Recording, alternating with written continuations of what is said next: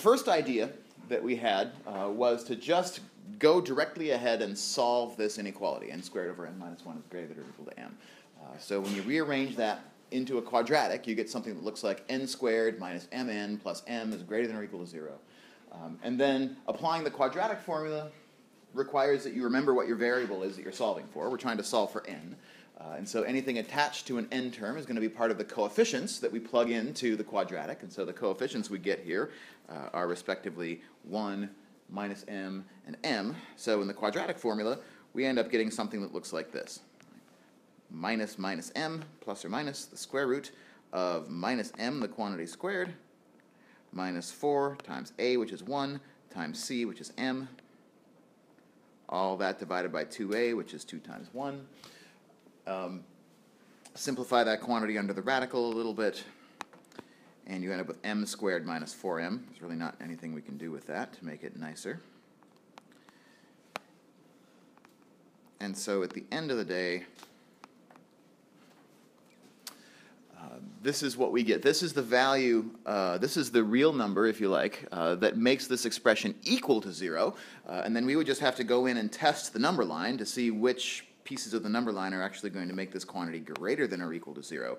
Uh, when we do that, we find out that it's the part here as well as the part over here, uh, if you like. Um, and so what I saw on, on those of your papers who are doing it this way uh, is you observe that it's this larger of the two, m plus the square root of m squared minus 4m, all over 2 that if you select that to be your threshold, you say something in your proof like, let's let capital N be, first of all, capital N has to be a natural number, but that natural number has to be in comparison to m plus the square root of m squared minus 4m all over 2. What comparison do we want here? How does capital N need to relate to this quantity if our rest of our proof is going to work? Yeah, we want we want this, right? Um, in other words, you find some nasty real number such that all of the n's greater than or equal to this real number will satisfy this inequality. And so, since our capital N needs to be natural, we just need to know why it is that there exists a natural number that's greater than or equal to this real. And how do we know that? Archimedes.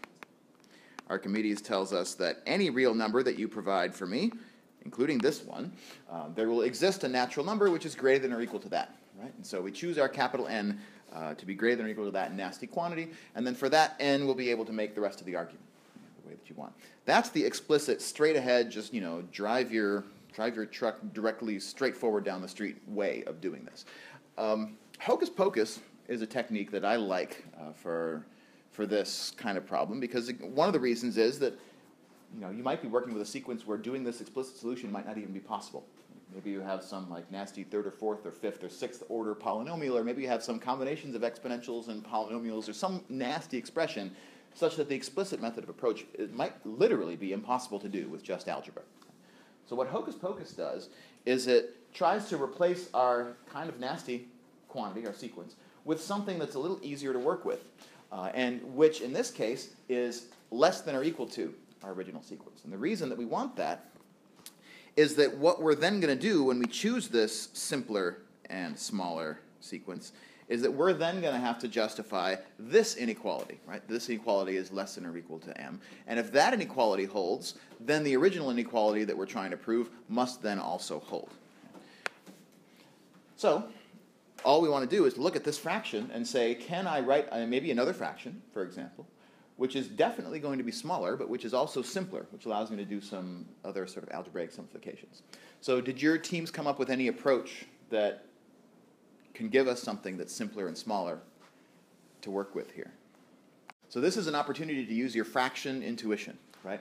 We can make a fraction smaller in two ways. We can make the numerator smaller, or we can make the denominator larger, right?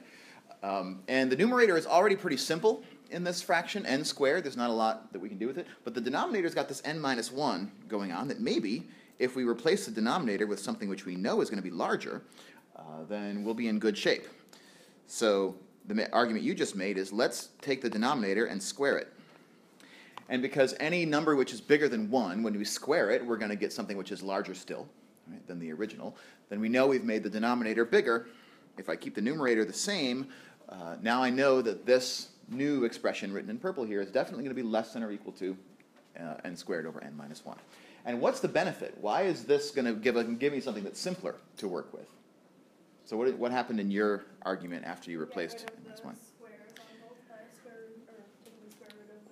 Yeah, yeah. So what this allows us to do is now, if we're going to solve this inequality, we don't need the quadratic formula in its full flourish anymore.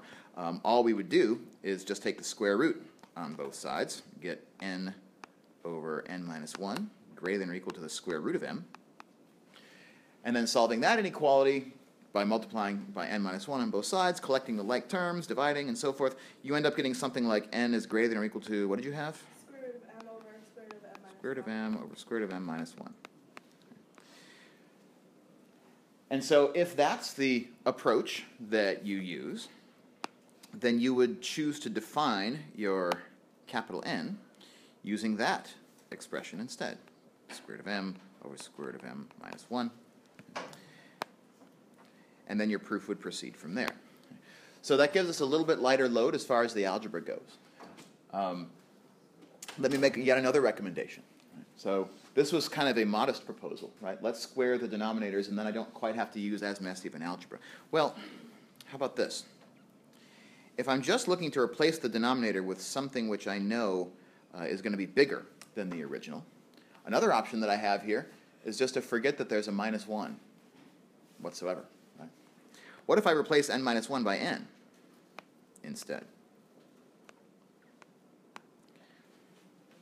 Again, we can convince ourselves that for any natural number n, n is going to be greater than n minus 1, and therefore this fraction is going to be smaller than that fraction.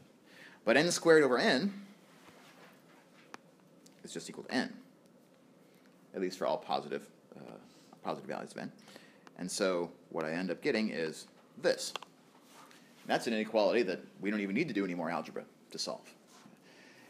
And there, I would go up to the top here and say, let's let capital N be greater than or equal to m.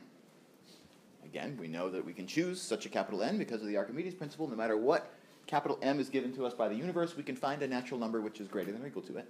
Right? Um, and so then the only tricky part, I guess, um, is in how do we then write this last portion of the argument? So let's fill in the rest of this proof. Uh, take a couple minutes to do that, uh, and then we'll wrap this up. So at the beginning of the proof, we say, let's let a real number n be arbitrarily chosen. The thing, too, about Hocus Pocus is that you and I might choose different, you and I might choose this expression here differently, but we can both write a valid proof based on, right? There's, there's a bunch of different roads here we can take. Um, so our proof will start by choosing an arbitrary m. The universe chooses it for us. And then we, as the authors of the proof, say, let's let n be a natural number which is bigger than or equal to capital M. We can do that because of the Archimedes principle. Then the universe comes back in again and chooses a little n that's greater than or equal to capital N arbitrarily.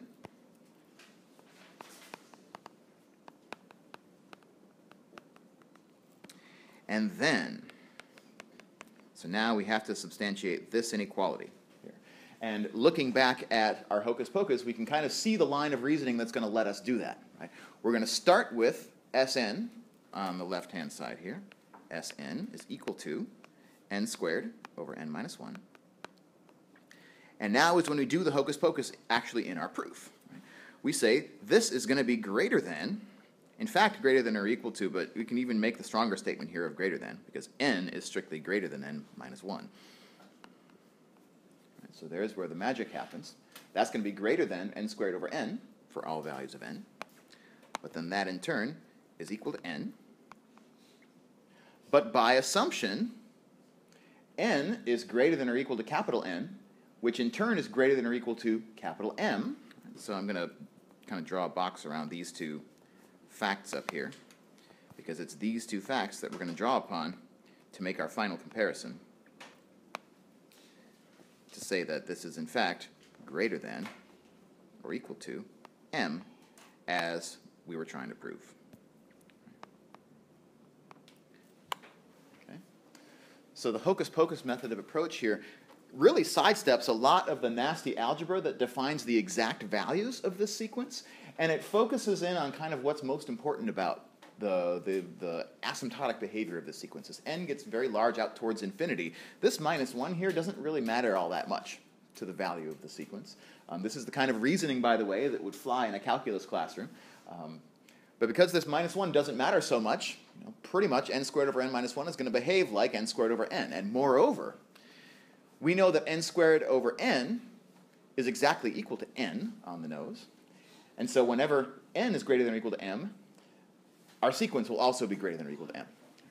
And this, by the way, is exactly the same thing that you did in Calc 2 way back when. This was called the direct comparison test. Now, you were using it at the time not in relation to sequences, but in fact in relation to series, infinite series. Um, but this is, this is the same kind of reasoning that you had to do way back then. Um, which, for example, would be to say that because this quantity n squared over n marches off toward infinity, as n tends to infinity, any quantity which is greater than or equal to it will also march off towards infinity, uh, as n tends out to infinity. Um, but that kind of logic of finding a sequence which is bigger or a sequence which is smaller, um, on the nose bigger or on the nose smaller, uh, is what we knew as the direct comparison test back in calculus. So if you're having trouble sort of getting into the hocus pocus groove, hocus pocus mindset, you might want to look back at your Calc 2 notes uh, from when you did direct comparisons um, to give you a sense of uh, how to remember how to make a fruitful comparison here uh, that will let you simplify in the way that you're trying to simplify.